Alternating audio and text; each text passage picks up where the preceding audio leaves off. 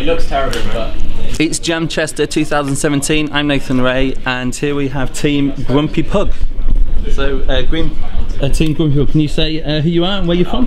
Sure, my name's Kwang, um, and I'm from London.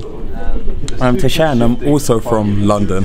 Yeah. My name's Jules. I'm from London. Good. And how do you guys know each other?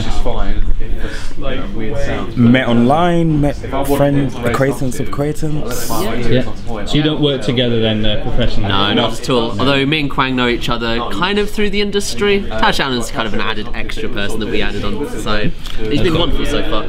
So you're definitely not a student team then, is Not a student team, no. Um, although I do this in my spare time.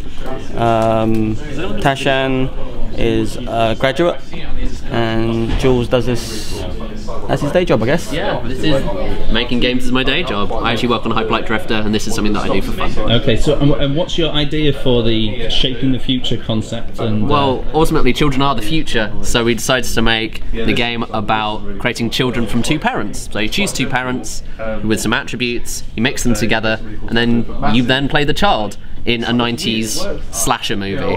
And if you get to the end, when the when when the kid survives, obviously Jason Voorhees with the with the chainsaw, you manage to kill him. The child then grows up to become the next generation. And that's it, shaping the future. Every single iteration makes things a little bit different. so I thought the eugenics was going to be the most disturbing part of the game. but- Well, we're not we're not going to comment on that. We're not going. Unfortunately, that's kind of one of the subtexts, but that's obviously not what we're trying to get across at all. It's more just the fun of, of running around in a 90s slasher movie.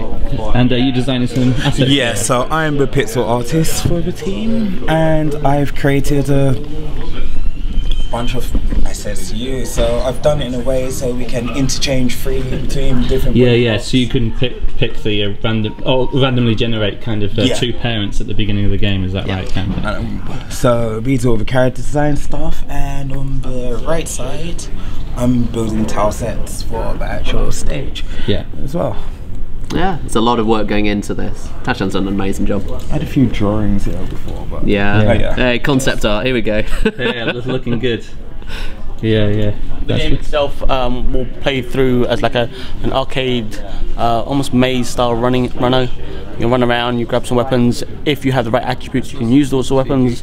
If not, you're kind of screwed. And are you building the uh, the the uh, game here? The developer. So um, Julian would do most of the coding. Um, Yeah. I'm taking a producer role here, uh, running around looking after our two wonderful team members, and also filling in any other gaps that need to be done. So things like audio and things like that. yeah. Sounds good. And uh, what are you building the uh, game in? Uh, we're using GameMaker Studio 2, which is a little bit niche, but it's something that I'm very comfortable with. I use it professionally, so this is yeah, yeah, I'm in my yeah, zone. yeah, yeah. I'm in my zone. It's better than Unity. Better than you. You've got to get the digs in. Yeah. oh, to, to the sponsors there. Yeah. So, right. Don't tell them. I've got to wanna- Studio 2 T-shirt that I'm going to wear tomorrow. So. Do you want to do a dig for Google Cloud Platform or? Oh, I haven't. I haven't used it. I wouldn't like to comment. I would Okay. like to comment. Yeah. Excellent. Right. Um, and uh, have you guys in, hit any problems yet that you've uh, that you've had to solve or? Oh um, yeah. Every single line of code is a problem, and every single line of code is a solution at the same time. Um, but yeah, we're trying to target mobile devices, so it's super accessible for everyone to use.